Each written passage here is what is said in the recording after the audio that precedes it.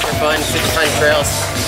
And my teammates are super strong. They're right here behind us. Great race today.